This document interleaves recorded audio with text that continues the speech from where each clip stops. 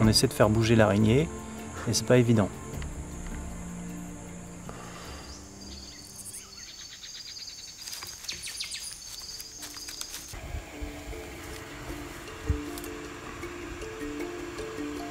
Je passe de l'autre côté? 嘿嘿